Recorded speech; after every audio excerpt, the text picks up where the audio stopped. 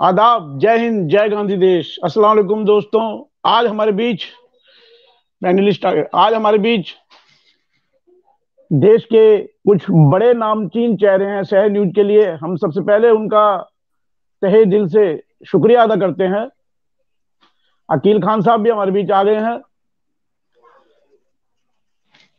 आदाब इंदौर में है अकील अकील खान साहब इंदौर में है इंदौर सूरत में, में हूँ मैं इस वक्त सूरत में हूँ सूरत। हाँ सूरत भारत है ट्वेंटी फोर्टी सेवन हाँ उन्नीस से का वो एक लिटरेचर का वो फेस्टिवल है वहाँ। हाँ लिटरेरी लिटरेरी फेस्टिवल है। सब। अभी हर तरह के लोग हैं इसमें फ़िल्म हाँ, से भी हैं लिटरेचर से भी हैं पॉलिटिक्स पॉलिटिक्स से भी हैं।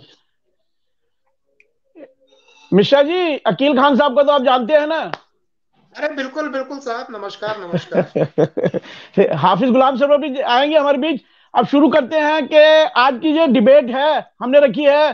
सबसे पहले आपका शुक्रिया अदा करता हूँ मैं शहर न्यूज़ की तरफ़ से, शहर न्यूज़ ट्वेंटी फोर की तरफ़ से।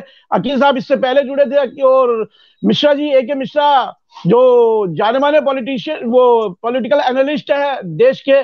और देश के बड़े चैनल्स पे नज़र आते हैं, अकील साहब भी बड़े चैनल्स पे नज़र आते हैं। और मेरे साथी रहे हैं तो आज जो टॉपिक है, उसमें सबसे पहले जो मैं टॉपिक टॉपिक है कि मोहन भागवत जी जो अभी उन्होंने स्टेटमेंट दिया है मुसलमानों को लेके, एक तरफ़ तो वो मुसलमानों को सलाह दे रहे हैं। अब लगता नहीं वो सलाह है या ज्ञान है उनका, या वो कुछ चेतावनी दे रहे हैं। ये मोहन भागवत ने जो मुसलमानों के लिए कहा कि उन्हें आक्रामकता छोड़ देनी चाहिए। देश में रहना है और सब एक साथ मिलजुल के रहना, वो हिंदुओं को भी कह रहे हैं, मुसलमानों को भी कह रहे हैं, सबको कह रहे हैं, लेकिन वो एक तरह से जो ये मुझे समझ नहीं आता कि इसी में चर्चा है कि वो चेतावनी है, सलाह है, या वो ज्ञान है।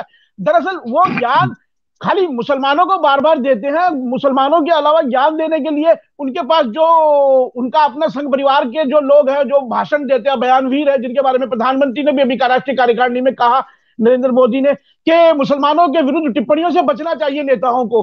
तो उधर ज़्यादा ज्ञान देने की ज़रूरत है मोहन भागवत को अपनी टीम को जो अपना उनका जो संगठन है।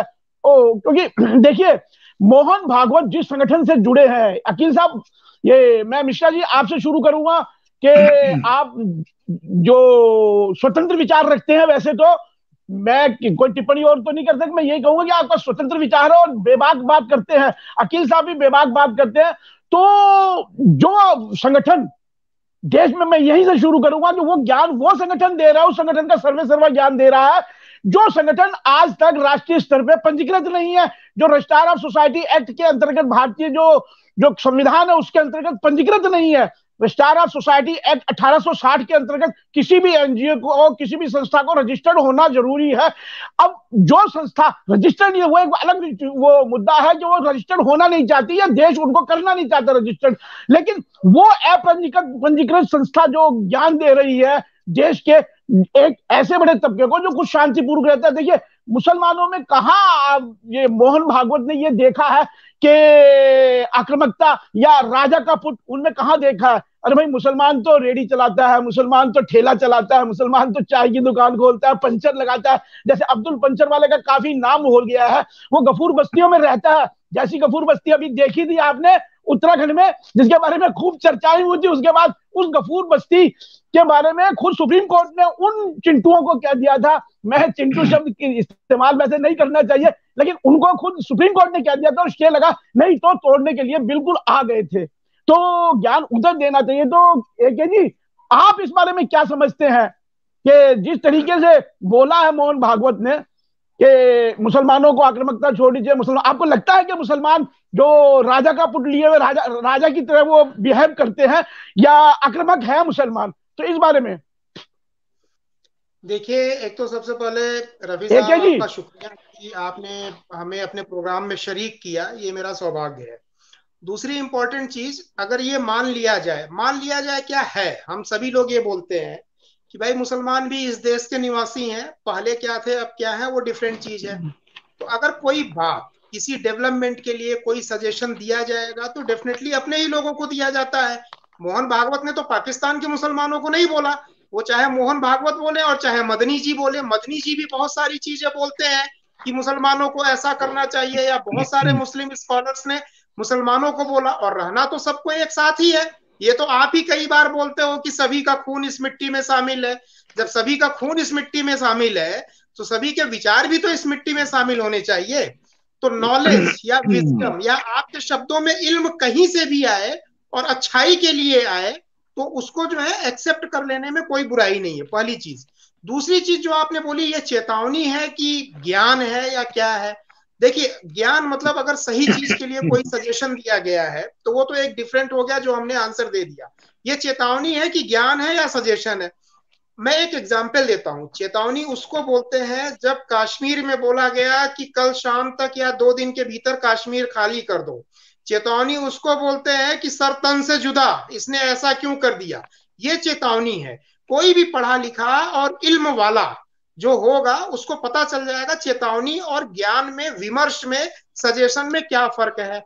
और मोहन भागवत चूँकि मुसलमानों के बारे में अच्छा सोचते हैं इसलिए उन्होंने बोला जो नहीं सोचता होगा वो कभी नहीं बोलेगा। नहीं मुसल मुसलमानों का देखिए मुस, देखिए मुसलमान जो है या हिंदू जो है या सिख जो है इस देश में मैं तो ये कहता हूँ बाई बॉर्न है हम लोग हज़ारों Yeah, तो सभी का खून इस देश की मिट्टी में है मेरा भी है मेरे पुरखे भी यही दफन है हज़ारों सालों से क्योंकि मैंने कई डिबेट्स में ये नेशनल डिबेट में कहा कि मैं सोलंकी राजपूत हूँ। अगर मैं सोलंकी राजपूत हूँ तो बाई बॉर्न इंडियन हूँ मेरी हज़ारों पुश्ते जब मेरी जो नस्ल है वो खालिश हिंदुस्तानी है। अब मुझे कोई इस तरीके का ज्ञान दे भारत के बारे में और मुझे इस तरह सहिष्णुता का ज्ञान दे तो ये मुझे कम से कम मुझे बींग मुस्लिम मुझे अच्छा नहीं लगेगा। मैं एक एक की तरफ़ आऊँगा कि एक ये मैं अकील खान की तरफ़ आऊँगा जी। यही इसी तरीके का ज्ञान तो राहुल गांधी जी अपनी यात्रा में दे रहे हैं हिंदुओं को भी दे रहे हैं सिखों को भी दे रहे हैं कि मोहब्बत से रहना है। नहीं, तो हाँ। नहीं वो सबको दे रहे हैं वो सबको दे रहे हैं मोहब्बत का ज्ञान सबको दे रहे हैं। लेकिन यहाँ हाँ। सिलेक्टिव बात करते हैं सिलेक्टिव बात करते हैं उन लिंचर्स को ज्ञान नहीं देते हैं ना जो हत्याएँ करते हैं जो लोगों को मारते हैं। मुसलमानों की फ़िक्र ज़्यादा है अरे sir sir sir sir. Bhajpa के करते हैं। नहीं नहीं भाज, भाजपा के भाजपा के उन नेताओं को ज्ञान नहीं देते हैं जो ज्ञान भाजपा के नेता जिस तरीके की टिप्पणियाँ करते हैं। अभी जैसे नरेंद्र मोदी को खुद कार्यकारिणी में बोलना पड़ा तो कहीं ना कहीं लैप्स उनकी पार्टी में है तभी देश का प्रधान देखिए पहले सुनिए मेरी तभी देश के तभी देश के प्रधानमंत्री बोलते हैं तभी देश के प्रधानमंत्री को बोलना पड़ता है कि मुसलमानों के खिलाफ टिप्पणी ना करें। नहीं एक तो मुस्लिम सोसाइटी वो हमेशा क्लेम करती है कि हम एकदम अलग है। अब इतिहास में मैं नहीं जाऊँगा। हमें अलग तरीके की व्यवस्था या जो है देखभाल की ज़रूरत है सारी चीज़ों की ज़रूरत है। बार बार इस चीज़ को लेके आंदोलन या वक्तव्य आते रहते हैं मुस्लिम समाज। तो मुस्लिम समाज जब अपने आप को स्पेशल प्रिविलेज चाहता है तो वैचारिक रूप से भी ये स्पेशल प्रिविलेज है। उन्होंने बोला अब नहीं बोलेंगे तो फिर आप बोलेंगे कि जी कोई बोलता नहीं है मुसलमानों के बारे में। कोई मुसलमानों की खैर ख्वाह लेने वाला नहीं है। और बोल दो तो आप वहाँ पे शायद जबान जुदा कर देने वाली बात करेंगे तो दोनों तरफ़ से भाई नहीं, किस तरह की देखिए मुसलमान मुसलमान मंगल बातें आपके लिए बोले अच्छी बातें आपके लिए करें वो भी आप ऑब्जेक्शन करेंगे। नहीं मुस्लिम समुदाय जो है मुस्लिम समुदाय वो कभी इस तरीके की अलग अलग रहने की या अलग तरीके की, अलग तरीके से बिहेव करने की या हमें अलग तरीके से ट्रीट किया मुझे लगता नहीं कहीं मुस्लिम समुदाय ऐसा अकील साहब, आप जो एक जो कह रहे हैं, आप मुझे बताइए इस चीज़ का कि मोहन भागवत की जो ये ज्ञान कथा है, इस ज्ञान कथा का सार क्या है? हकीकत में इस ज्ञान कथा का सार इस देश में सहिष्णुता को लाना है या एक चेतावनी है देश के किसी एक विशेष समुदाय को कि आपको इस तरीके से रहना पड़ेगा, जो कॉमन सिविल कोड की तरफ़ जाता है, जो इनका और दूसरे जो इनके वो है, उनकी तरफ़ जाता है। तो आप ये बताइए मुझे कि एके जो कह रहे हैं, उनके अनुसार उनकी है कि ये मोहन मोहन भागवत जी की ज्ञान कथा जो है, इसका सार क्या है? हकीम जो मैंने बताया। अकील साहब। देखिए देखिए रफीत साहब मैं भागवत जी को मोहन भागवत जी को कई सालों से फॉलो कर रहा हूँ। और मैं उनका स्टेटमेंट हम्म। हर स्टेटमेंट देखता हूँ। और जो पहले जो जिस तरीके से उनकी भाषा होती थी बड़ी बैलेंस होती थी और बड़ा वो एक कायदे की बातें किया करते थे और एक नरेटिव उनका अलग था। लेकिन ये जो इन्होंने स्टेटमेंट दिया है ये बिल्कुल डिफरेंट डिफरेंट टोन के साथ में है डिफरेंट अप्रोच के साथ में है। और ये क्लियर नज़र आ रहा है कि ये 2024 की तैयारी के तहत ये इस तरह का स्टेटमेंट उन्होंने दिया है। जो भाजपा ने भावनाएँ जो क्रिएट करने की कोशिश कर रही है भारतीय जनता पार्टी और ये जो पूरे चुनाव का जो उन्हें बिगुल बजा दिया है जनवरी से तो ये मुझे तो एक उसका पार्ट ही लगता है। कि मुस्लिम्स को और नॉन मुस्लिम्स को, हिंदूज को, हमारे देश के अंदर, वो एक पोलराइज करने का एक इंटेंशन है। एक उनका जो है, उनकी नीयत मुझे ये लगती है।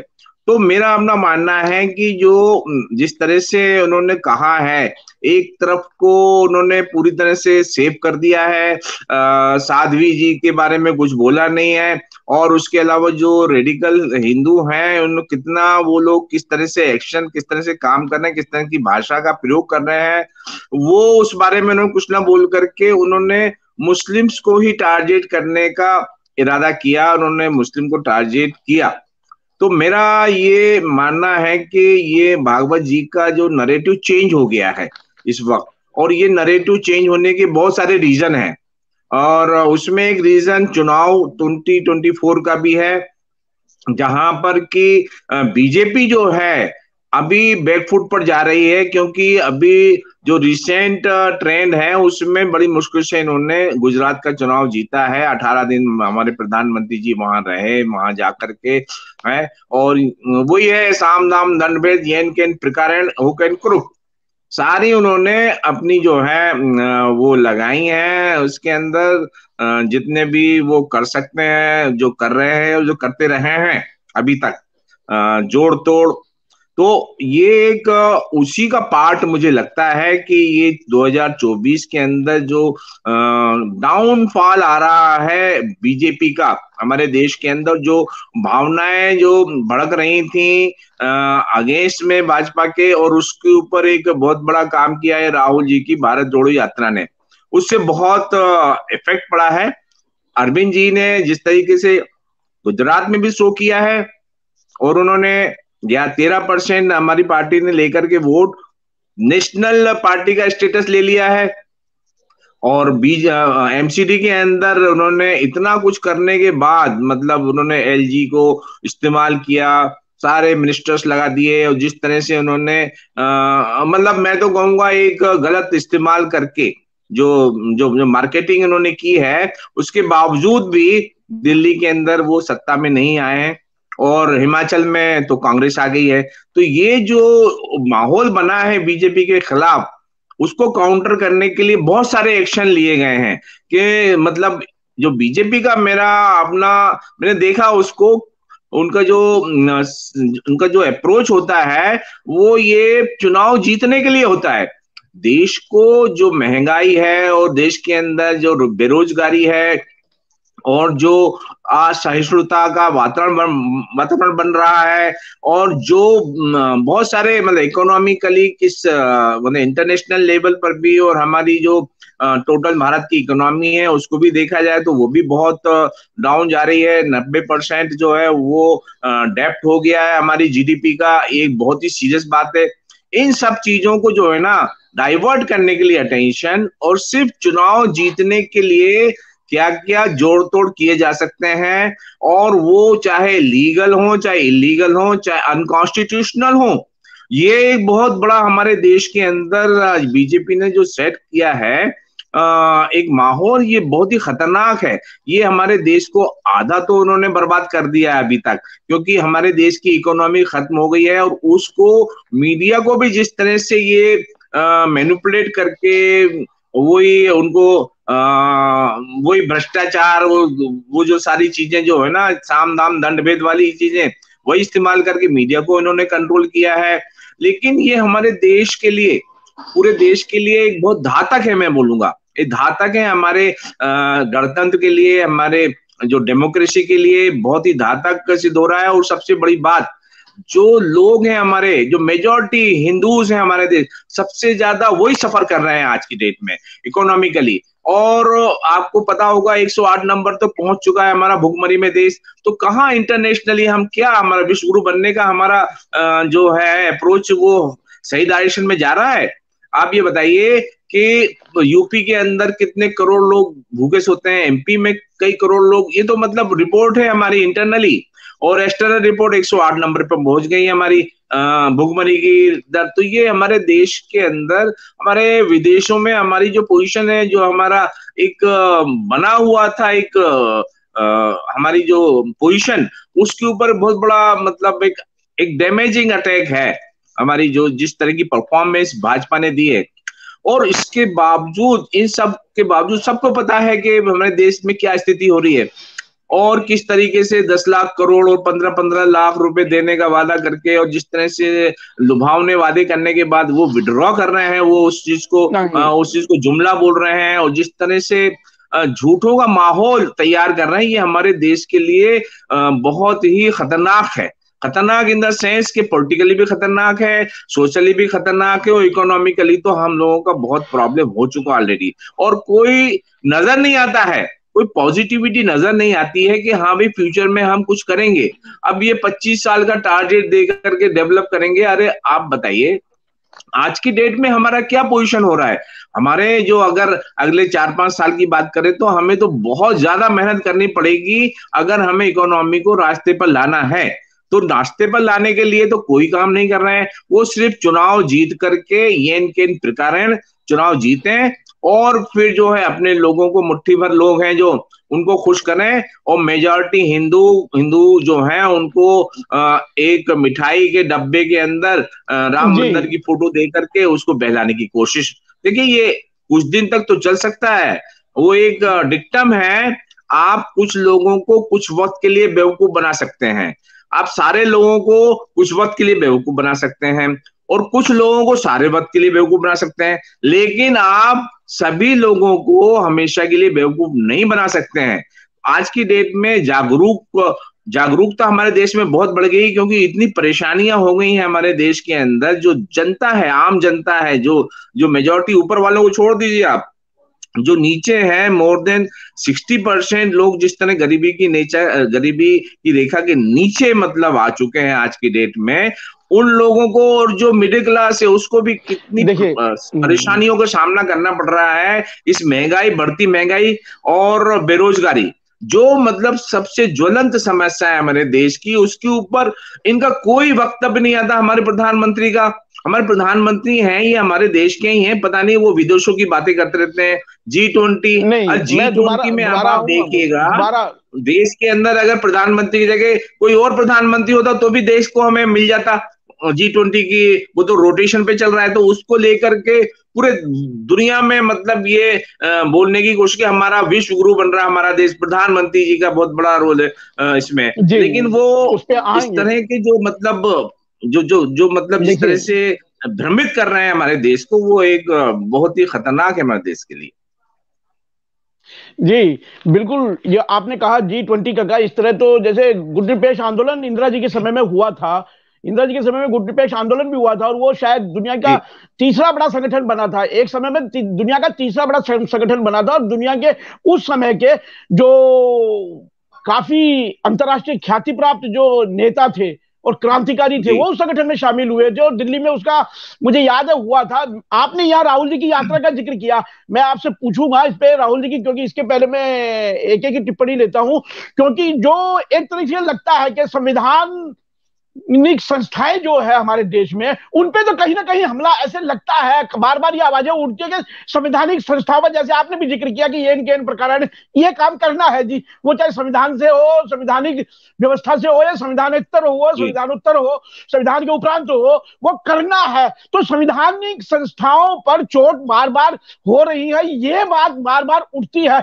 आप एक इस बारे में क्या समझते हैं कि क्या ये वर्तमान सरकार है हमारी सरकार है संवैधानिक सरकार है? लेकिन संवैधानिक व्यवस्थाएँ कमज़ोर कहीं ना कहीं हो रही है। कई संस्थाएँ हैं जो आप नाम ले सकते हैं उनमें।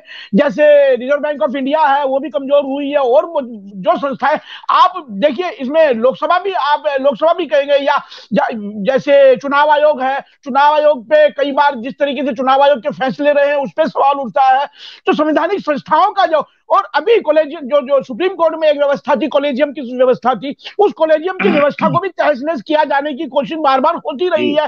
अगर जजों की नियुक्ति की बात होती है तो जजों की नियुक्तियों की फ़ाइल वापस भेज दी जाती है, फिर भेजी जाती है, फिर फ़ाइल वापस भेजी जाती है। ऐसा कभी संवैधानिक संस्थाओं से टकराव हुआ नहीं सरकार का, क्योंकि न्यायपालिका और कार्यपालिका दोनों एक समानांतर जो समन्वय बना के चलते तभी सरकार चलती लेकिन यहाँ तो जिस तरीके से ऐसे बात लोग करते हैं, जो दूसरी पार्टियाँ, विरोधी पार्टियाँ ये बात करती है, और आपको क्या लगता है कि, कि ये संवैधानिक संस्थाओं पे जो जिस तरीके से हो रहा है तो वाकई इस बारे में आप महसूस करते हैं इस चीज़ को? देखिए जनाब रफी साहब आपने बहुत सही सवाल ये किया है। ये एक परसेप्शन का राहुल गांधी जी खुद बोलते हैं कई बार उन्होंने बोला है कि ये चीज़ केवल परसेप्शन का फेर है। संवैधानिक संस्थाओं के ऊपर की जो बात है ना आपको ऐसा लग रहा है कि गलत हो रहा है। मैं इसको ये देखता हूँ ना कि पहली बार सरकार ऐसी आई है जो संवैधानिक संस्थाएँ जितनी भी हैं सरकारी संस्थाएँ हैं चाहे पुलिस हो चाहे जो भी हो उनके ऊपर कम से कम गाइडलाइन या फोर्स करना एक निगाह रखना कि हाँ आप तेज़ी से काम करिए आपकी परफॉर्मेंस बढ़नी चाहिए। तो अब इसको विपक्ष के लोग या कुछ लोग ये बोल सकते हैं कि भाई मिसयूज हो रहा है ये मिसयूज नहीं हो रहा है। इसके पहले तो संवैधानिक संस्थाओं के कान पे जू नहीं रेंगती थी। कितने ऐसे केसेस हैं जो कि पेंडिंग पड़े रहते थे, ये लोग एक्शन में नहीं आते थे। अब अगर ये बोल रहे हालाँकि केस बहुत सारे पेंडिंग है और हमारी जो संवैधानिक संस्थान है, उसमें मैन पावर वगैरह इन सब की कमी है, लेकिन जो भी है, उसको वो एक्टिव करके रखे हैं कि भाई हाँ ये करो ये करो ये करो, ऐसे करो, वैसे करो। दूसरी इंपॉर्टेंट चीज़ जो आपने बोली है तो इसको ऐसे नहीं देखना चाहिए कि संवैधानिक संस्थाओं का मिसयूज हो रहा है, बल्कि ऑप्टिमम और इफ़ेक्टिव यूज़ अब शुरू हो गया है। पहली चीज़। किसी को अगर लगता है कि संवैधानिक संस्थाएँ, संस्थाओं का गलत प्रयोग हो रहा है तो लोकतंत्र के हिसाब से आप सुप्रीम कोर्ट जाइए, किसी और कोर्ट में जाइए, आप जा सकते हैं। और बहुत सारे लोगों ने जिनको लगा कि ये चीज़ हमारे खिलाफ गलत फ़ाइल की गई है, वो कोर्ट में अपना पक्ष रख रहे हैं। दूसरा इंपॉर्टेंट क्वेश्चन जो आपने पूछा था मैं भूल गया दूसरा पार्ट क्या था आपके क्वेश्चन का बताएँगे? संवैधानिक मैं मैंने यही कहा कि जो संवैधानिक संस्थाएँ हैं इनके उपरांत काम होता है ऐसे महसूस हो रहा है कि उनके ऊपर जाके काम कर रही है सरकार। ऐसे कई काम है कई नहीं नहीं उनके ऊपर जाके नहीं हाँ मैं बता रहा हूँ। उनके ऊपर जाके नहीं सबको मैक्सिमम परफॉर्मेंस देना है बीजेपी गवर्नमेंट जो है मैं उसके फेवर की बात नहीं कर रहा हूँ। लिंगा राउंड टालते रहने वाला अब वो दिन चले गए कि फाइलें दबी हैं बाबू दबा के बैठा है। अरे जाने दो जी किसी का भी हो चाहे पुलिस हो चाहे गवर्नमेंट एक्टिवेट कर रही है कि भाई तुरंत आप रिस्पांस दीजिए। ये एक प्रेशर है। लोग उसको देखते हैं कि संवैधानिक संस्थाओं के खिलाफ काम हो रहा है। दूसरी इंपॉर्टेंट पूछा था। कॉलेजियम सिस्टम का कॉलेजियम सिस्टम हाँ कॉलेजियम सिस्टम का। हाँ अब मैं आपको बताऊँ। अगर देखिए, आप बाई कास्ट मुस्लिम है तो आपकी जो तरबियत हुई है, वो एक सेट ऑफ़ इन्वायरमेंट में हुई है। तो आपके जो विचार और देखने का जो नज़रिया होता है, वो भी बड़ा स्पेसिफिक होता है। मैं ये बोलता हूँ कि एक क्लर्क की नौकरी करनी है तो आपको कंपटीशन देना है। कॉलोजियम सिस्टम में ये होता है कि कुछ लोग रिकमेंड कर देते हैं तो केवल कुछ, भाई, सुप्रीम कोर्ट देश के एक एक आदमी को रिप्रेजेंट करता है। जो अंतिम आदमी है जिसकी जेब में चवन्नी नहीं है उसको भी न्याय की आशा है। अगर सुप्रीम कोर्ट है कहीं से तो वो सुप्रीम कोर्ट से है कि उसको वहाँ पे न्याय मिलेगा। 140 करोड़ लोगों का एक ही मसीहा है एक ही शरण स्थली है। तो वहाँ पे नियुक्तियाँ वहाँ का कार्यकलाप केवल 10 20 25 50 लोगों के हाथ में क्यों होनी चाहिए? मैं तो बोलता हूँ सरकार के हाथ में क्यों होनी चाहिए? के में न्यायपालिका सरकार के हाथ में क्यों होनी चाहिए? बिल्कुल। आपका आप बिल्कुल आपके यकीन साहब मैं ये कह रहा हूँ सरकार के हाथ में भी क्यों होनी चाहिए? कॉलेजियम सिस्टम एक निष्पक्ष होता वो स्वतंत्र सरकार अगर नियुक्त करने की जिद्दी करती है तो ना तो हंड्रेड परसेंट वो सरकार के हाथ में होनी चाहिए ना कॉलेजियम सिस्टम मैं आपके फेवर की बात करता हूँ। ऐसे बहुत सारे पढ़े लिखे मुसलमान होंगे जो इस फ़ील्ड में होंगे प्रोफेशन में वकील होंगे जज होंगे अगर ये ओपन हो जाता है कंपटीशन तो हाई कोर्ट और सुप्रीम कोर्ट में उनको भी मौके मिलेगा। तो ये तो आपके लिए बढ़िया चीज़ है कि एक ओपन कॉम्पिटिटिव माहौल में चीज़ों को किया जाए जो इलिजिबल है उनको लाया जाए। अरे छोटे छोटे शहरों में इतने काबिल लोग बैठे हुए किस तरीके से किस तरीके से चुनाव करवा सकते हैं। नहीं किस तरीके से चुनाव करवा के नहीं चुनाव लड़वा के नहीं कॉम्पिटिटिव एग्ज़ाम जो होता है आप कोई भी मॉडलिटी जो है तय कर ले। देखिए नहीं नहीं बार काउंसिल का चुनाव होता है कि नहीं? बार काउंसिल का चुनाव आप लॉ में देखिए बार काउंसिल का चुनाव मिश्रा जी मिश्रा जी आपका इंटेंशन आपका इंटेंशन सही होगा। आपका इंटेंशन सही होगा मगर रियलिटी ये है कि सरकार की नीयत ठीक नहीं है। अगर वो चाहती तो इतना महीनों बीत गए कुछ ना कुछ सोल्यूशन निकाल कितने महीने कितने पेंडिंग हो गए केसेस आप ये बताइए। और इसके अलावा जो डिसीज़न आप दीजिए आठ सालों में जो पिछले डिसीज़न हुए हैं मिश्रा जी एक एक मिनट में बता दूँ कि दीपक मिश्रा जी थे आपके बोवड़े साहब थे और ये रंजन गोगोई। देखिए मैं एग्जैक्ट मैं डायरेक्ट नहीं बताऊँगा लेकिन आपको ये पता होगा कि जब जस्टिस लोया की हत्या हुई थी और डिसीज़न जो है चीफ जस्टिस ने रख लिया था क्लियर करके।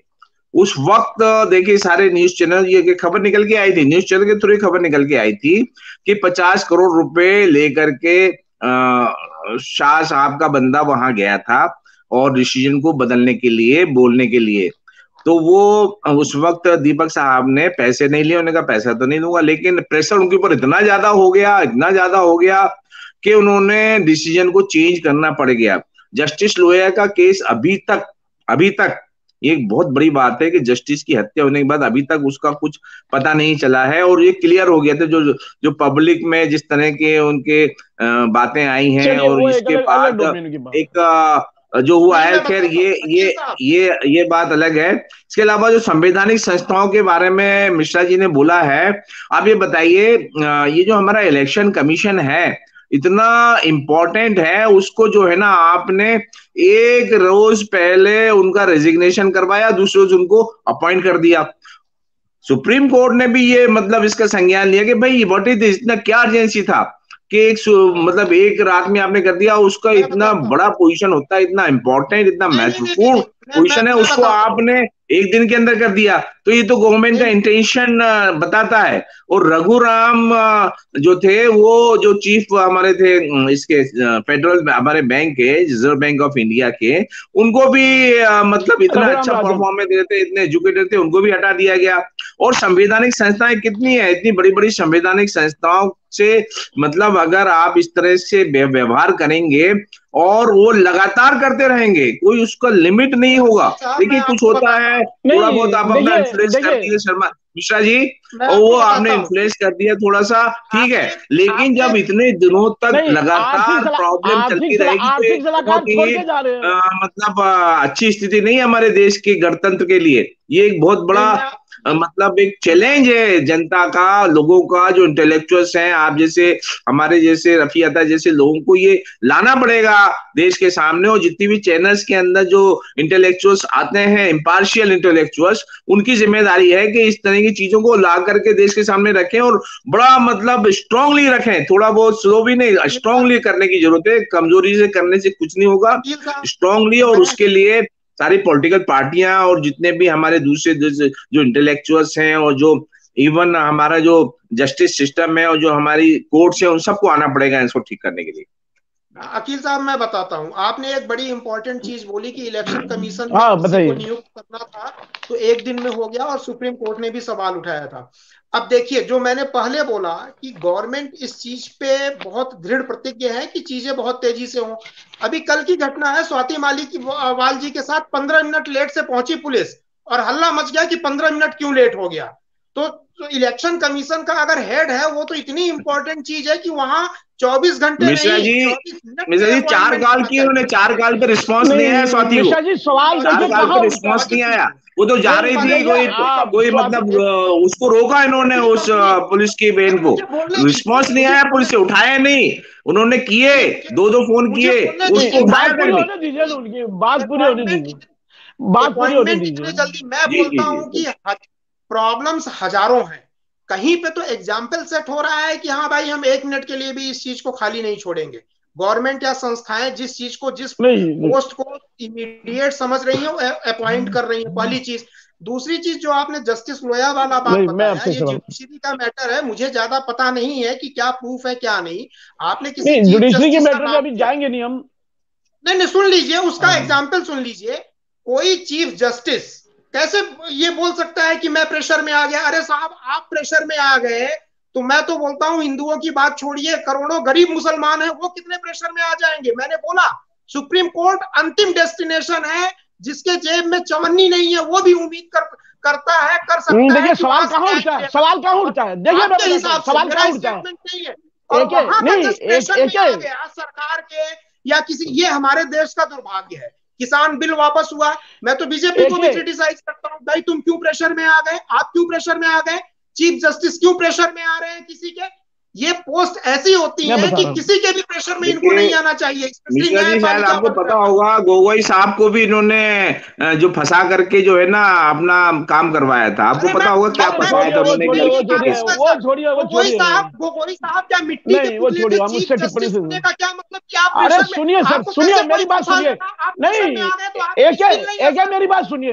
एक है मेरी बात सुनिए? मैं एक बात रखता हूँ, मैं ये कहना चाहता हूँ, जो सवाल कहाँ उठता सवाल ये उठता देखिए हिंदुस्तान में पहली बार हुआ कि सुप्रीम कोर्ट के चार सुपर जो सुप्रीम चीफ जस्टिस है, सुप्रीम जस्टिस है, जिनमें चीफ जस्टिस है और बाकी जो बाद में एक्स चीफ जस्टिस रहे हैं, दोनों तीनों, वो सब रहे और वो आके कैमरे के सामने प्रेस कॉन्फ्रेंस करते हैं और फिर चीफ जस्टिस स्वयं रोने लग जाते हैं।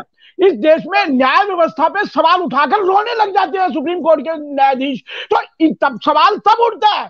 सवाल जनता नहीं करती। सवाल सुप्रीम कोर्ट के जस्टिस जो वो प्रेस कॉन्फ्रेंस करी है हिंदुस्तान में पहली बार हुआ मुझे लगता है दुनिया में पहली बार हुआ है कि सुप्रीम कोर्ट के जज जो ये तो सवाल उठेंगे ना संवैधानिक संस्था पे सवाल रफी साहब जो इम्पोर्टेंट पोस्ट है सबके लिए मेरा सम्मान है चाहे चीफ जस्टिस हो चाहे जो हो। प्रेशर में आके किसी मजबूरी में अगर आप रोने लगेंगे तो जनता से क्या उम्मीद करेंगे? ये देश कहाँ जाएगा? आप समझते हैं कि कोई इतने बड़े पोस्ट पे जो है बैठ करके जब मुसीबत आए या हमें रोने वाला कोई आदमी नहीं चाहिए सर। हमें वो चाहिए जो दृढ़ता से चीज़ों का मुकाबला करे चाहे उसके अगेंस्ट में सरकार हो चाहे विपक्ष हो चाहे विदेशी कोई ताकत हो। वो सिचुएशन को चेंज करे। हमें हिम्मत वाला चाहिए। और आप रो रहे हैं वहाँ बैठ के। आपने हैंड्स अप कर दिया साहब मैं क्या करूँ? आप ऐसे लोगों को मैं नहीं मानता। मैं किसी का नाम नहीं ले रहा हूँ लेकिन इतने अहम पोस्ट पे आप नहीं नाम हम भी नहीं ले रहे। मेरा काम है लॉजिक हाँ, जो हाँ कर दे वो सांसद बन जाता। है जो स्वीकृति ले जो जो हाँ जो रजामंदी दे दे जो हाँ कर दे वो सांसद बन जाता। है सर नहीं वो कर्म ये भी तो मैं होता है ये भी तो होता है ना। मैं ये भी मानता हूँ किसी की भी सरकार हो अगर आप पड़ रहा है आप क्यों सरेंडर कर रहे हैं? आप क्यों सरेंडर कर रहे हैं? मुझे बताइए ना। अगर ऐसे ही सेना वाले करने लगे हमारा हमारे सेना का एक जवान जो मुश्किल से पचास हज़ार साठ हज़ार रुपए महीने पाता है चाहे वो हिंदू चाहे मुसलमान हो सीने पे सौ गोली खा लेगा लेकिन सरेंडर नहीं करता है। और यहाँ आप इतने बड़े पोस्ट में बैठे हैं पूरे देश की ज़िम्मेदारी है। आप रो रहे हैं। आप सरेंडर कर रहे हैं। वो रिटायर थे रिटायर थे पनिशमेंट भी दिया जाता है मिश्रा जी। है। क्या कायरता की बात कर रहे हैं रफी दादा ये कायर लोग हैं जो रोते हैं वो कायर है। जब पनिशमेंट का भी डर है ना पनिशमेंट दिया जाता है। उनको पनिशमेंट दिया जाता है हटा दिया जाता है। अगर कोई जज कुछ करे तो उसको हटा दिया जाता है। अकील अकील भाई जो आर्थिक सलाहकार जब कोई जज बनता है सरकार को बार बार छोड़ के चले जाते हैं उनके बारे में मिनिस्टर प्राइम मिनिस्टर बनता है संविधान की शपथ लेता है कि मैं निष्ठा के साथ और शपथ ये भी लेता है कि मैं किसी अंडू प्रेशर के सामने नहीं झुकूँगा। उस शपथ का क्या हुआ जो वो पहले लेता है? नहीं शपथ तो देखिए सारे मंत्री लेते हैं। शपथ बता रहा हूँ ना मैं। देखिए शपथ तो शपथ तो मंत्री लोग भी लेते हैं मुख्यमंत्री लोग भी लेते हैं उसके बाद वो कह देते हैं मैं तो बीस और अस्सी की राजनीति करता हूँ मुझे तो अस्सी परसेंट का वोट अरे शपथ तो वो नहीं लेते शपथ लेकर वो इतनी गंदी पॉलिटिक्स करते हैं। तो शपथ की बात करिए शपथ की बात करिए। अपने जबान के पक्के नहीं है मैं मानता हूँ। लेकिन जुडिशरी का जिसमें अंतिम बिलीव मैं भी करता हूँ जो इतने लर्नेड है कम से कम वहाँ तो हमें आइडियल सिचुएशन मिलनी चाहिए। देखने को हम्म। एक बेंच मार्क एक आदर्श को किया जाना चाहिए वकीलों के द्वारा जजों के द्वारा कि कितनी भी मुसीबत हो हम सत्य के साथ हैं हम डिगेंगे नहीं। किसी का भी केस हो अगर किसी भी जज किसी भी हालाँकि सारे आदमियों के लिए चाहे हिंदू हो या मुसलमान हो ईमान तो यही बोलता है कि मुसीबत कितनी भी हो के बारे में झूठ के सामने झुकना नहीं है। राहुल गांधी के बारे में अकील साहब ने टिप्पणी करी थी। भारत जोड़ो यात्रा में मैं अकील साहब से एक सवाल करना चाहता हूँ। बाद में आऊँगा हम संघ की तरफ़ दोबारा जाएँगे मोहन भागवत के बयान की तरफ़ दोबारा जाएँगे लेकिन राहुल के राहुल गांधी का जो भारत जोड़ो यात्रा का जो ये आंदोलन चल रहा है इस आंदोलन के बारे में अच्छी जो शुभकामनाओं वाली टिप्पणी इन्होंने करी है इस देश में जो ये नफरत की राजनीति के खिलाफ जैसे राहुल गांधी चल रहे हैं वो बोल रहे हैं कि मैं नफरत की राजनीति को मिटाने के लिए मोहब्बत की दुकान खोल रहा हूँ नफरत के बाज़ार में। आम आदमी पार्टी और अरविंद केजरीवाल की भूमिका भारत जोड़ो यात्रा में क्या है शुभकामनाओं तक है या इसमें शामिल होना चाहते हैं शामिल हो गया राहुल के इस आंदोलन में। राहुल गांधी का जो आंदोलन नफरत की नफरत के बाज़ार में मोहब्बत की दुकान खोल रहा हूँ इसमें शामिल हो गए क्या अरविंद केजरीवाल और आम आदमी पार्टी? यह मुझे बताइए आप। उसके बाद फिर संघ की तरफ़ जाएँगे वापस। रफी रफी अता जी मैं आपको 2019 वाली बात बताना चाहूँगा जहाँ पर गलती की थी। अरविंद जी ने उस वक्त साफ़ साफ़ कितना मतलब आ, बिल्कुल डाउन टू अर्थ आकर के उन्होंने कहा था कि हम सब लोग साथ मिलकर के लड़ेंगे चुनाव तो बहुत अच्छा होगा और ये बीजेपी को हम तभी इस तरह से चुनौती दे सकते हैं। और बहुत उन्होंने बहुत एफर्ट्स किए थे उस टाइम लेकिन पता नहीं उस टाइम कांग्रेसी भी बहुत सारे थे जो बड़े बड़े दिग्गज थे जो बड़े बड़े अपने फ़ील्ड में हर तरह की फ़ील्ड में माहिर लोग भी थे। उन्होंने इस चीज़ को रिजेक्ट कर दिया था। और हाल बताइए क्या हुआ था रिज़ल्ट आज की डेट में आज की, डेट में आज की डेट में भी मेरा मानना यह है देखिए इनविटेशन नहीं दिया गया है और जो खबरें निकल के आई थी उसमें आ, मतलब आम आदमी पार्टी को इन्होंने चाइल्ड लाइन करने का ऐसा इंप्रेशन आया इंप्रेशन आया इस तरह का। उनको किसी को जैसे समाजवादी पार्टी को भी इनवाइट नहीं किया था और भी दूसरी पार्टियों को इनवाइट नहीं किया तो ये थोड़ा पॉलिटिकल गेम अगर खेलना बंद कर दो रियल टर्म्स में अगर देश के लोगों को इकट्ठा करना है तो जो लोग देश की जनता के साथ हैं जो लोग देश के लिए काम किए हैं, आम लोगों के लिए काम किए हैं, डाउन ट्रोडन के लिए काम किए हैं, सबके लिए काम किए हैं, चाहे वो हिंदू, मुस्लिम, सिख, ईसाई है, सबको उन्होंने फैसिलिटी दी है, एक समान फैसिलिटी दी है। तो ये जो बीजेपी का जो जिस तरह का इनका एक जो जो निगेटिव क्रिएशन है ना इंप्रेशन दूसरी पार्टियों के लिए, उसको अगर साइड लाइन करके और एकजुट बिल्कुल जो जिस तरह से हमारे बिहार के चीफ मिनिस्टर ने आगे बढ़ करके इकट्ठा करने की कोशिश कर रहे हैं, ममता बनर्जी भी कर चुकी हैं और अरविंद जी भी कर चुके हैं कोशिश तो अब जो है ये ज़िम्मेदारी बनती है कांग्रेस की कि अगर सचमुच में ये वो करना चाहते हैं बीजेपी को काउंटर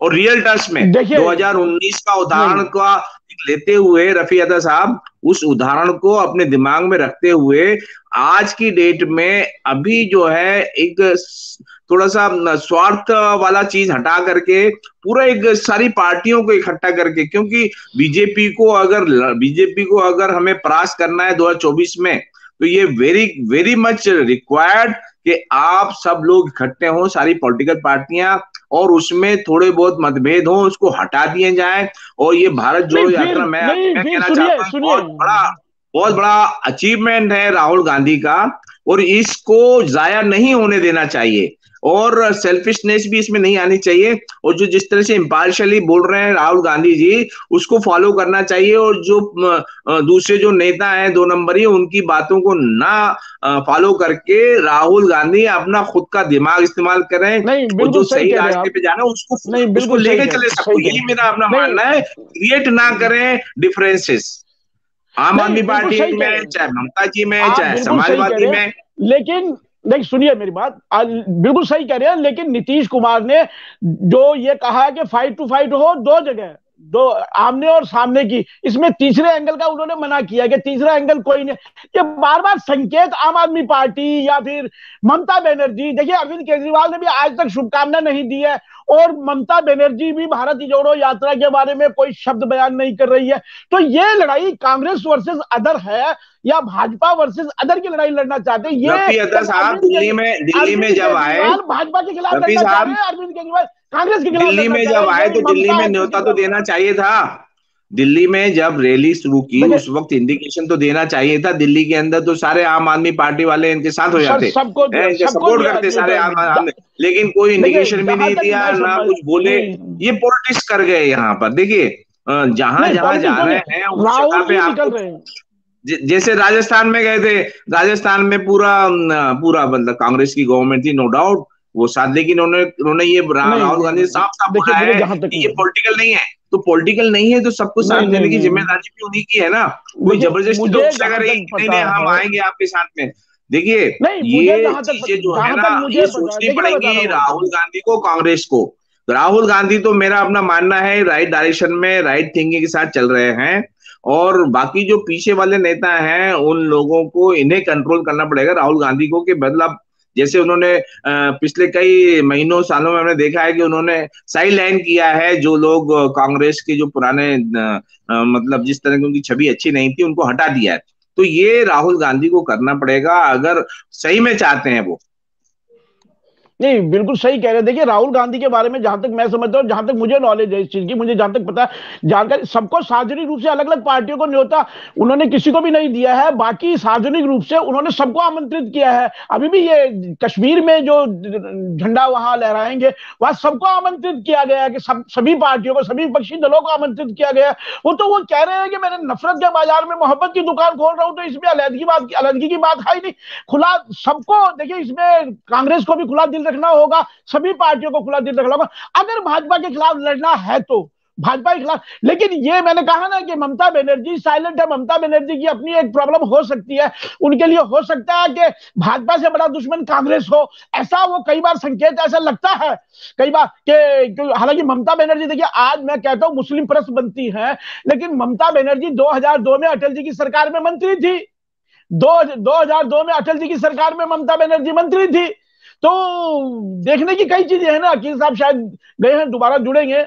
तो आप इस चीज़ को ये मानते हैं इस चीज़ को मेरे में एक, एक जो मैं आपको बता आपको ये कह रहा हूँ इसके बारे में। अकील साहब से लेना था इसका जवाब। फिर आपसे मैं संघ के बारे में और बात करूँगा। एक संघ का मुद्दा है। मैं आपको बताऊँ जो राहुल गांधी जी भारत जोड़ो यात्रा कर रहे हैं मुझे लगता है ये काम उनको सात आठ साल पहले शुरू में कर लेना चाहिए था। कुछ हो या ना हो, लेकिन इतना तो ज़रूर है कि भारत पूरा देश देख लेने के बाद, पैदल चलने के बाद, उनको पहली बार समझ में आ रहा होगा कि भारत है क्या। और वो खुद बोलते भी है कि मैं लोगों से मिल रहा हूँ, ऐसे है, वैसे है, ये फीडबैक है। दूसरा क्वेश्चन ये है कि जो विपक्ष, ठीक है, राहुल गांधी जी ने या कांग्रेस ने सबको बुलाया विपक्ष की जो फूट है, वो यहीं पे सामने आ जाती है। उसके पीछे कारण है। ममता बनर्जी की भी अपनी राजनीतिक महत्वाकांक्षाएँ हैं, अखिलेश यादव की भी है, अरविंद केजरीवाल की तो अलग है, वो तो अपने मुँह से बोलते ही हैं कि हम, वो देश की ही बात करते हैं, प्रत्यक्ष या अप्रत्यक्ष रूप से वो यही बोलते हैं कि पीएम मुझे होना चाहिए देश का। तो जहाँ पे इतने टकराव हैं कोई भी सेक्रीफाइस करने को तैयार नहीं है। राहुल गांधी और उनकी माताजी श्रीमती सोनिया गांधी।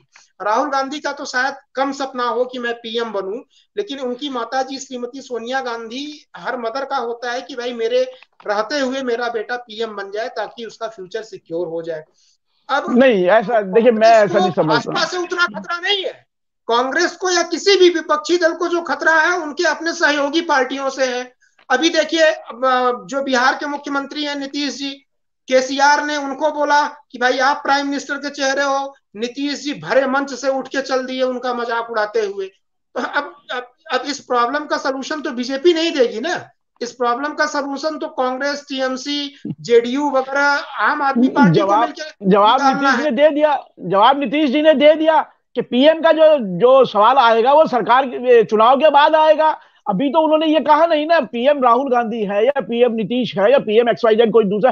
और दूसरा देखिए, राहुल गांधी के बारे में 2009 में वो प्राइम मिनिस्टर बन सकते थे।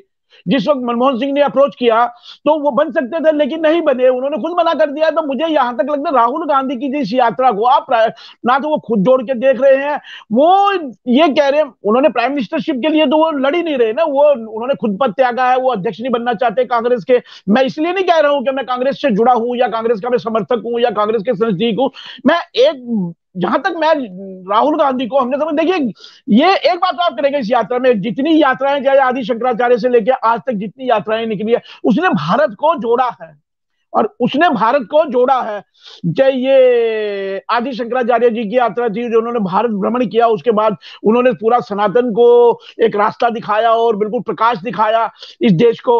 और इस देश को एक विचारधारा दी और इस देश को जो आस्था का जो एक सूरज दिया उन्होंने तो इसी तरीके से आगे जो अशोक भी निकला, अशोक भी जो भारत भ्रमण पे निकला था तो वो भी निकला है। उसके बाद जो महात्मा गांधी, दांडी मार्च, देखिए आधुनिक भारत का हम ज़िक्र करेंगे, जो आधुनिक मार्च जो भारत में आज़ादी से पहले दांडी मार्च निकला था, चंपारण से शुरू हुआ था, और वो दांडी मार्च जाके गांधी से गांधी तक का मार्च है मैं तो ये कहूँगा, अगर मैं ये कहूँगा तो आप बताइए, इस पे गलत है क्या कि गांधी से गांधी तक का मार्च चाहिए देखिए आपने एक पार्ट तो बहुत खूबसूरत बोला कि शंकराचार्य और सनातनियों ने जो यात्राएँ की थी उसमें चंद्रगुप्त मौर्य को भी आप लीजिए और शंकराचार्य को लीजिए और उसके पहले उन्होंने भारत को जोड़ा मानवता को जोड़ा और पूरे विश्व की मैंने अशोक को, को भी जोड़ा। है मैंने अशोक को भी जोड़ा है। आप चलिए हम अशोक उसने संगमित्रा और अपने पुत्री संगमित्रा और उसके पुत्र का देखिए क्या नाम था मुझे याद नहीं आ रहा है उनको भी भेजा बाहर के देशों में तो ठीक है भारत भी जुड़ा और मानवता भी जुड़ी एक देश से दूसरे देश के लोग जुड़े शांति का प्रचार हुआ सनातनियों ने जो किया वो आपने सही बोला। आज़ादी के बाद का अगर आप देखिए मतलब जब आज़ादी का आंदोलन शुरू हुआ 1920 से लेके 1947 और देखिए और देखिए गौतम बुद्ध है भगवान महावीर है महावीर है ये सब जब ये जब भारत के लिए निकले भारत को जानने के लिए निकले ज्ञान को जानने के लिए ईश्वर को जानने के लिए निकले इस देश में निकले तो इस देश को इन लोगों ने दिशा दी है। नहीं नहीं मैं मैं, मैं ये नहीं मैं वहाँ जोड़ के हाँ। मैं आपकी बात से सहमत हूँ। मैंने आपको बोला गौतम बुद्ध महावीर जैन गुरु नानक जी गुरु नानक जी तो मक्का मदीना तक चले गए थे। बिल्कुल बिल्कुल बिल्कुल। वहाँ पे कोई मुस्लिम सिख था। बिल्कुल तो हाँ। एक थॉट अलग था उसका उद्देश्य अलग था और उसका जो है आउटकम यानी परिणाम भी एकदम अलग था। आपने सही बोला। सवाल यह है कि आज़ादी के बाद से जितनी यात्राएँ हुई रिज़ल्ट कुछ भी रहा हमें आज़ादी मिली इस एक जयप्रकाश नारायण की है जयप्रकाश नारायण की भी यात्रा लीजिए इसमें। जयप्रकाश नारायण रामलो लोहिया कपूरी ठाकुर वगैरह सब। मेरी बात कंप्लीट होने दीजिए। आज़ादी के बाद से जितनी यात्राएँ हुई जो भी रही हैं उनका आउटकम केवल एक ये निकला कि भारत दो टुकड़ों में बट गया। अब मैं स्पेसिफिक एग्ज़ाम्पल नहीं दूँगा। तो इसको ऐसा मत देखिए। इसीलिए मैंने आपको बोला आडवाणी जी की रथ यात्रा से बात कर रहे हैं। जोड़ने के लिए कुछ लोगों ने रथ यात्रा से जोड़ दिया क्या? भारत टूट गया। कुछ लोगों की रथ यात्रा से। भारत बीस साल में टूट गया।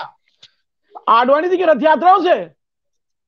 नहीं आडवाणी जी की रथ यात्रा से तो राम मंदिर बन गया सर। आप मुझे बताइए ना आडवाणी जी की रथ यात्रा से कहाँ पे ऐसा कोई आंदोलन हुआ या कुछ हुआ जहाँ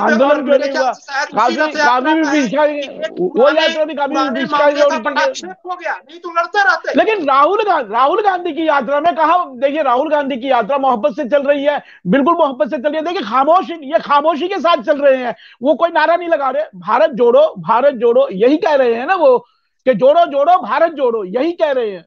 और तो कुछ नहीं वो कह रहे मोहब्बत के बाज़ार में नफरत के बाज़ार में मोहब्बत की दुकान खोल रहा हूँ। मैं वो सारी चीज़ें मानता हूँ कि हो सकता है राहुल गांधी एक कॉमर्शियल मिशन पे इकोनॉमिक मिशन पे निकले हों कि मोहब्बत की दुकानें खोलनी है मोहब्बत की बातें कर रही हैं वो बहुत अच्छी चीज़ है। बहुत अच्छे इमोशनल आदमी है उनका व्यवहार वगैरह बहुत कूल है। सारी हम्म। प्रशंसा जितनी हो सकती है सारी चीज़ें अप्लाइड है। अब इस यात्रा का आउटकम क्या होगा? कितनी मोहब्बत की दुकानें खुलेंगी?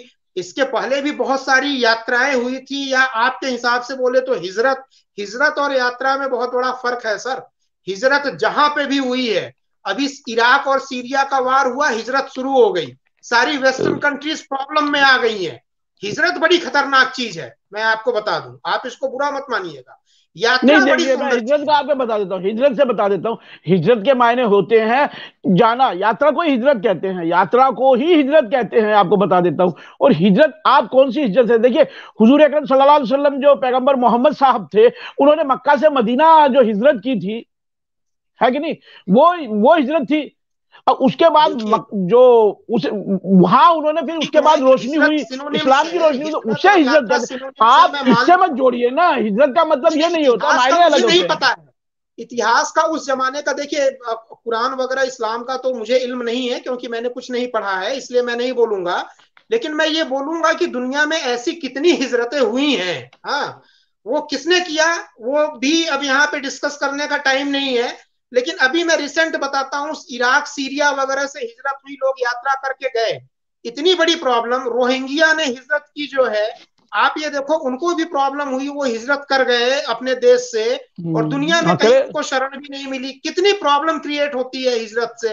राहुल गांधी की जो भारत जोड़ो यात्रा नहीं जो हिजरत है आप इसको बोलो भारत जोड़ो हिजरत जो है राहुल गांधी की उसका नहीं भाजपा डर रही है क्या? अच्छा नहीं देखिए मैं बता रहा हूँ आप इसका तो देखिए देखिए ना, बता रहा हूँ, ना बता रहा हूँ।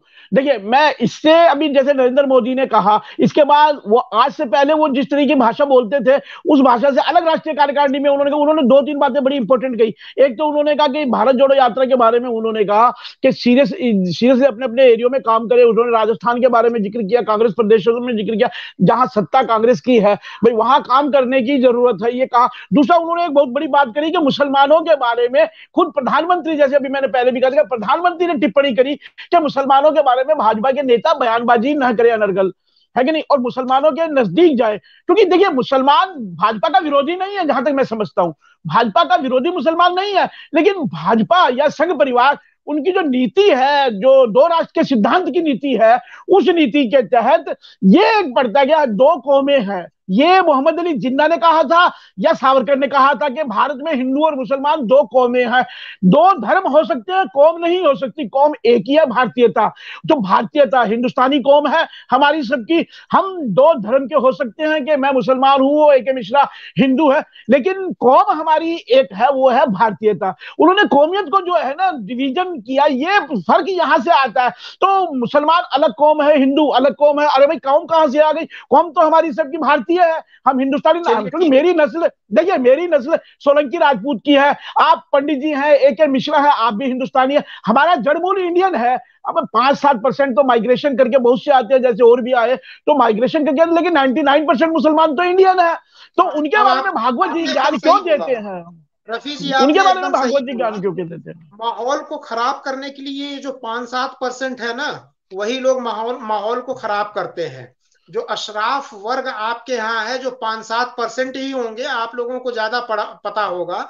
और जो इंडियन ओरिजिन के हैं मैं तो ऐसे बहुत कम लोगों को बोलता हूँ कि आपने आपने कबूल किया कि भाई मैं तो सोलंकी जो है राजपूत हूँ। आपने कबूल किया कि हमारे पूर्वज हिंदू थे। अरे भाई मैं तो राष्ट्रीय डिबेट में कबूल किया लेकिन कट्टर मुसलमान हूँ कट्टर मुसलमान हूँ कट्टर इंडियन हूँ कट्टर भारतीय हूँ। लेकिन इसके बा, इसके बारे में मोहन भागवत बार बार ये कहते हैं कि मुसलमान है भारत का हर नागरिक जो हिंदू है अब हिंदू देखिए हिंदू है भारत का अहम नागरिक तो ये तो एक जो मुसलमान जो ये कहते हैं इस चीज़ को अलग कहते हैं। आप भारत का हर नागरिक भारतीय है हिंदू तो नहीं है ना?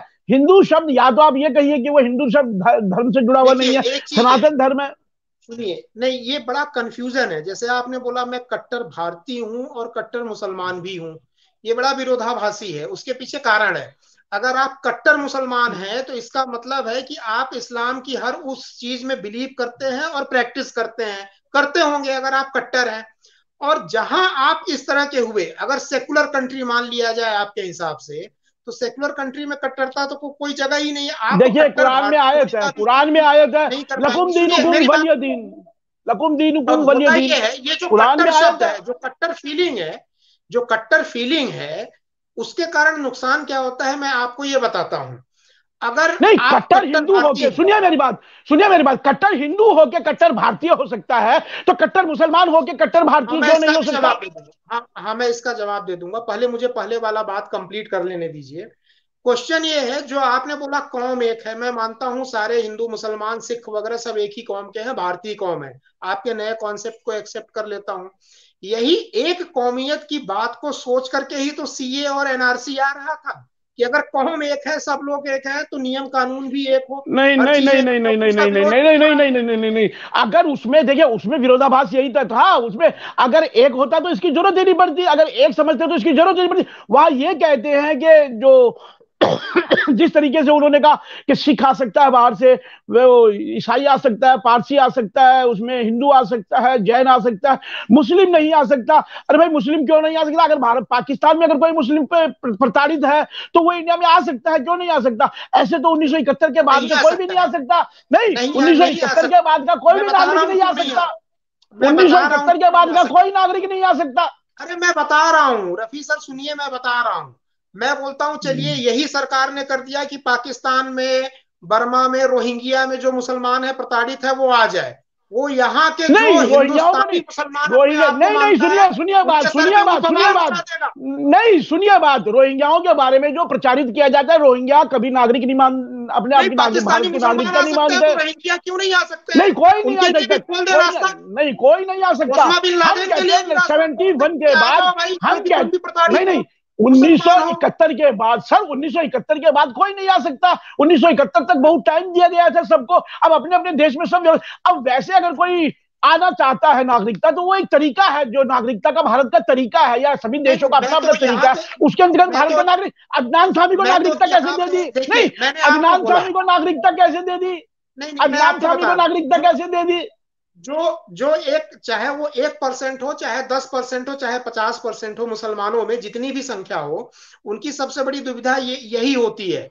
मैं तो बीजेपी गवर्नमेंट को बोलता हूँ कि साहब, आप बाहर से सिखों को, हिंदुओं को बुलाइए। उसके साथ साथ एक रास्ता और खोलिए कि जिनको यहाँ से जाना है, वो भी चले जाए। जिनको लगता है कि यहाँ बड़ी प्रॉब्लम है, ये है, वो है, उनको जाने का, उनको एकदम खुशी खुशी माला फूल पहना करके यहाँ से विदाई करनी चाहिए। ये एक कमी है चाहे आपकी सरकार किसने कहा दिक्कत है भाई? किसने कहा दिक्कत है? नहीं किसने कहा दिक्कत है? ये परसेप्शन अपने आप में बना लेते हैं। यही तो समस्या सर। तो अरे सर ये दिक्कत है। मोहन भागवत ने कुछ बोल दिया। भैया अरे तो बैठ कर हमारी अपनी समस्या है उसमें भी दिक्कत है किसी ने सुनिए देखिए। उसमें भी आपको दिक्कत है।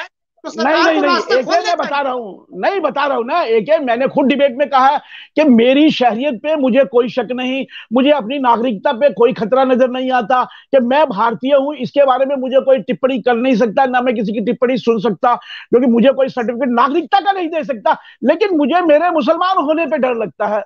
ये मैंने राष्ट्रीय डिबेट में कहा है मैंने ये उसमें जी न्यूज़ पे ये बात मैंने कही है। मैंने कहा मैंने कहा मेरी नागरिकता पे कोई सवाल नहीं है मेरे हिंदुस्तानी होने पे भारतीय होने पे कोई सवाल नहीं है लेकिन मेरे मुसलमान होने पे अगर सवाल करता है तो डर तो यही है सर। अगर आपको केवल एक मुसलमान होते हुए आपको इसलिए डर लग रहा है वो भी भारत जैसे देश में जहाँ डेढ़ हज़ार साल से पहले नहीं लगता था। पहले नहीं लगता था।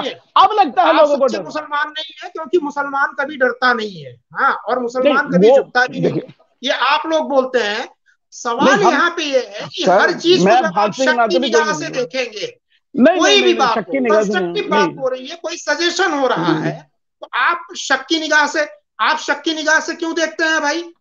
आप क्यों देखते हैं? आप क्यों शक की निगाह आप क्यों हल्ला मचाना शुरू कर देते हैं? नहीं कैसे हमारे खिलाफ हल्ला कौन मचा हल्ला हल्ला हल्ले की बात हमारे खिलाफ है। देखिए कॉमन सिविल कोड के बारे में इस पे फिर डिबेट करेंगे कॉमन सिविल कोड के ऊपर क्योंकि कॉमन सिविल कोड में भी कंट्रडिक्शन है। आप कॉमन सिविल कोड कैसे लाना चाहते हैं इसके बारे में भी तो है ना कि कॉमन सिविल कोड लाना चाहते हैं तो उसके लिए टीम बनाइए उसके लिए पूरा एक पैनल बनाइए उस पैनल में सभी को आप कॉमन सिविल कोड में जो भाजपा का संघ का अपना एजेंडा है वो रखना चाहते हैं क्या? उसमें क्या ये देखिए।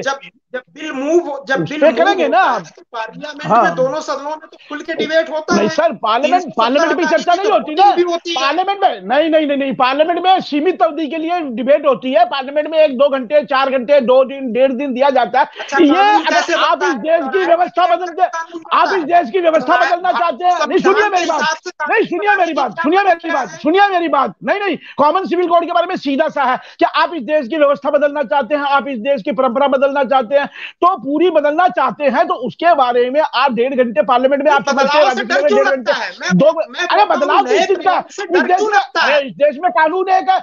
अरे देखिए इंडियन पीनल कोड एक है यहाँ अपराध की धारा एक है यहाँ सिविल कोड एक है तो माइनॉरिटी के रूल तो एक नहीं है ना केवल नहीं बिल्कुल सर बिल्कुल एक है। अरे मैं नमाज़ पढ़ता हूँ।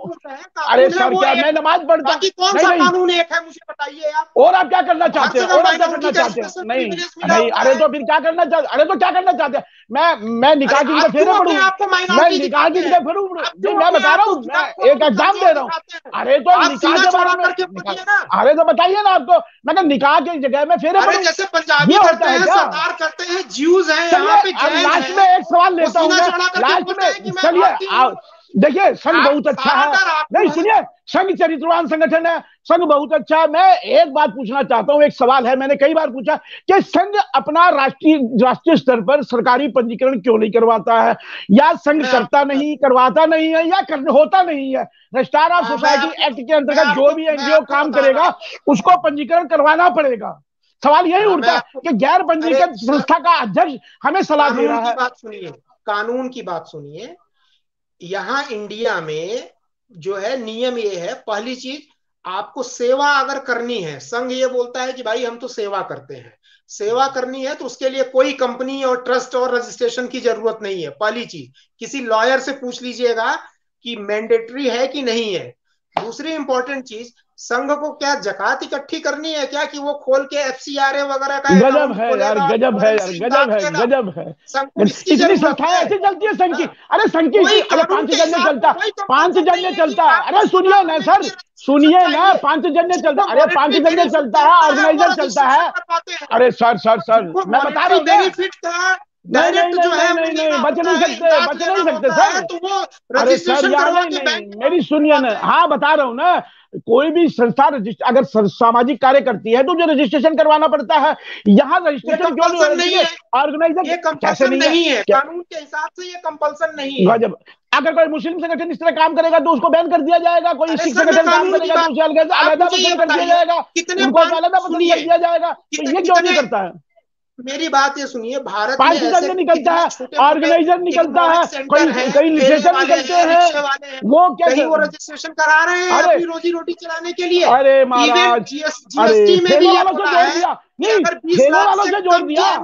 संघ को ठेले वालों से जोड़ रहे हो नहीं संघ को ठेले वालों से जोड़ रहे हो संघ को ठेले वालों से जोड़ रहे हो। संघ को जो इस संघ एक देश का राष्ट्रव्यापी संगठन है इसके जो करोड़ों जो करोड़ों बोल रहे हैं कि वो विश्वव्यापी संगठन है संघ तो एक छोटा मोटा संगठन है साहब जो सेवा करता है। कोई उसका पॉलिटिकल या इकोनॉमिकल उसका मुद्दा नहीं है कि हमें ये लेना वो सरकार के वो सरकार देखिए ना वो वो सरकार की नीति डिसाइड करता है। सरकार की नीति डिसाइड करता है। अकेले सेवा करते हैं। हाँ। अकेले सेवा करते हैं वो सेवा हाँ। करने वाली संस्था है और सेवा करने वाली संस्थाओं के लिए जो है वो जब चैरिटेबल ट्रस्ट वो लोग बनाते हैं जिनको इमदाद की ज़रूरत है चलिए समय समय समय का समय का समय का अभाव है। एक मिनट ज़्यादा हो गया एक आखिरी में ये कहूँगा 2024 में राहुल गांधी की भारत जोड़ो यात्रा से क्या नरेंद्र मोदी डर गए हैं? और भारत जोड़ो यात्रा 2024 में जो राहुल राज की स्थापना इस देश में करेगी क्या? ये बता दीजिए मुझे थोड़ा सा बस। इस पे ज्ञान दे दीजिए फिर हम पटाक्षेप करते दोबारा इंशाल्लाह फिर मिलेंगे आपसे। एक एक लाइन का जवाब है। जो असली में भारत पुत्र है, इस धरती का पुत्र है। परिणाम चाहे जो हो, लेकिन वो भयभीत नहीं होते हैं। ये हमारा इतिहास रहा है। हार, जीत, जो भी हो, वो दूसरी चीज़ है। लेकिन भयभीत तो हम बाहरी दुश्मनों से भी नहीं होते हैं। हज़ारों साल से नहीं हुए हैं। हम डरने वाले नहीं है, सर। हम कोई स्पेशल प्रिविलेज किसी से नहीं चाहते हैं। जो इस धरती के पुत्र हैं, जो सनातनी पुत्र हैं, वो डरते नहीं है, भयभीत। परिणाम की चिंता भी नहीं करते हैं। हार, जीत लगी रहेगी, संघर्ष लगा रहेगा ज़िंदगी में। तो भयभीत होने की क्या बात है यहाँ पे? कितनी हिजरत है? मैं तो बोलता हूँ राहुल गांधी की जो भारत जोड़ो यात्रा है आप इसको भारत जोड़ो यात्रा नहीं भारत जोड़ो हिजरत बोलिए। और डरने की क्या ज़रूरत है? हमें डरने की ज़रूरत नहीं है। जिसको डरने की ज़रूरत है वो हिजरत करे। यहाँ से वहाँ जाए दूसरे मुल्क में जाए जहाँ जिसको पसंद है जाए। हम तो यहीं पे पैदा हुए हैं और हमारे पूर्वजों ने भारत में घूमना भारत में घूमना भारत में घूमना हिजरत नहीं हो हिजरत एक जगह से दूसरी जगह जाने को कहते हैं। मैंने पहले भी आपको समझाया था। भारत भ्रमण को भारत भ्रमण वो भी हिजरत है सर। अरे नहीं नहीं वो हिजरत नहीं है वो मतलब हिजरत नहीं है। हिजरत का मतलब एक जगह से दूसरी जगह स्थापित करे एक जगह से दूसरी जगह स्थापित हुए एक जगह से दूसरी जगह स्थापित हुआ उसे हिजरत कहते हैं नहीं नहीं नहीं। एक ही मुल्क में एक शहर से दूसरे हाँ तो एक सब विस्थापित होते। हैं विस्थापित होने को हिजरत कहते हैं विस्थापित होने को हिजरत कहते हैं। राहुल गांधी इस देश को जानने के लिए निकल रहे हैं वो हिजरत नहीं है। राहुल गांधी तो भारत भ्रमण पर निकल रहे हैं। हाँ। लेकिन दोनों में मैंने ये भी कहा सिम्युनिटी के साथ फ़र्क भी है ना। हिजरत का मतलब यात्रा होती है वो यात्रा जो विस्थापित होने के लिए की गई है। नहीं तो अब उसे हिजरत कहा गया है। नहीं मैं आप 2024 तो में राहुल गांधी को इस देश में वो स्थापित तो नहीं लेकिन कांग्रेस को स्थापित भारत भ्रमण भारत भ्रमण के लिए निकले हैं। देखिए मैंने अभी आपको कहा था स्वामी जो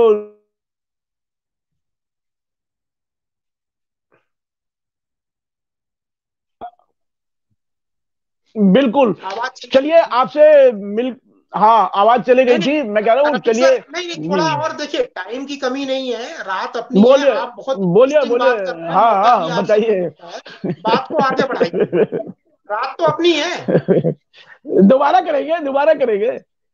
नहीं आप हमें बुलाते नहीं है आप ना आप देखिए सोचते हैं ये आदमी है हम नहीं नहीं अरे अरे अरे नहीं आप मेरे अज़ीज़ हैं आपको बुलाएँगे।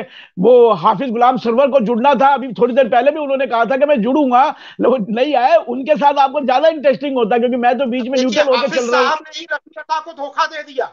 मैंने बोला ना हाँ। सनातनी कभी धोखा नहीं देता है। लेकिन हाफिज साहब ने आपको नहीं वो भी आएँगे।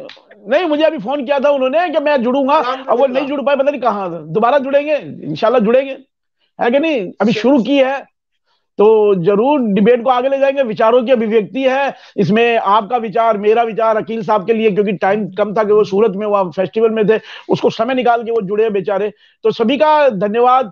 और ए के मिश्रा आप मेरे साथ जुड़े हैं। सहज न्यूज़ आपका बहुत बहुत शुक्रिया अदा करता है। आपने हमारे साथ जुड़े और अपने विचार रखे क्योंकि आपके साथ मैंने कई डिबेट्स की है। और क्रांतिकारी विचार होते हैं आपके। बिल्कुल क्रांतिकारी बेलाग विचार होते हैं। तो इसके लिए मैं आपको आपके विचारों को तो मैं सैल्यूट करता हूँ। जय हिंद जय गांधी देश। बहुत बहुत शुक्रिया आपका ये आपकी महानता है कि इस नाचीज की आप कद्र करते हैं। अदरवाइज़ जनाब हम तो हम तो कई बार सोचते हैं कि भाई चौदह सौ साल से हम गुलाम रहे हैं। चलिए नहीं इस देश में कोई गुलाम नहीं है पूरा हिंदुस्तान आज़ाद है हम सब आज़ाद भारत के नागरिक है। जय हिंद जय गांधी देश। शुक्रिया जनाब शब्बा है शब्बा